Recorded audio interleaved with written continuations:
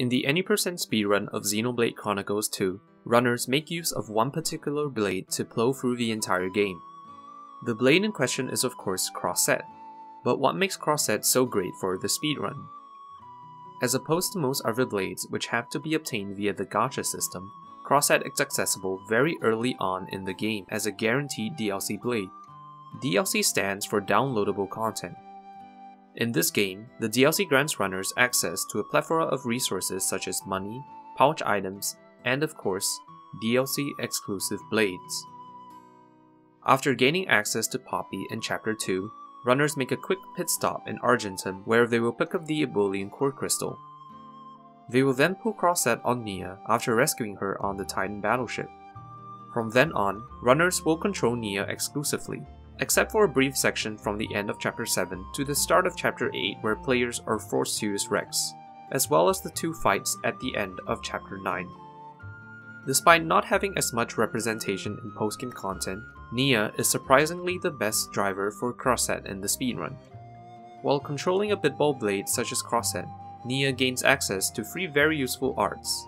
Acrobatic Bomber, a high damaging skill with a chance to break, potentially setting up huge fusion combos, Healing Circle, which keeps the party healthy, and most importantly, Dolphin Spin, which allows Nia to generate potions. The core of Crossette's kit, and the main reason why she's so powerful, is her ability gathering sparks. This is a skill that increases Crossette's damage every time her driver collects a potion, up to a maximum of 500%. This makes Crossette the premier choice for combat, as no other blade is able to ramp out their damage so quickly and so easily let alone so early on in the run. Oftentimes, this insane multiplier allows Crossette to finish fights even without a break, as long as she has enough potions. This is great for consistency, as starting from chapter 4, enemies start to have tons of break resistance, making it impractical to aim for fusion combos on every fight. Being a fire blade, Crossette also has access to two very strong blade combos which are used frequently throughout the speedrun. Mega Explosion is the go-to option for high single target damage, while Steam Explosion's AoE makes it the preferred choice for fights with multiple enemies, such as Patmic and Trio. Throughout the speedrun, there will usually be at least one other Fireblade or Waterblade on another party member, making it very easy to set up these powerful combos. For example, for most of the run, Rex has access to Pyra, who is a Fireblade. In Chapter 4, where Pyra is not available, as well as fights where Steam Explosion is better, runners use a common blade instead. Nia's other teammates, Morag and Tora, both have access to the Fire Blades Brighid and Poppi QT respectively.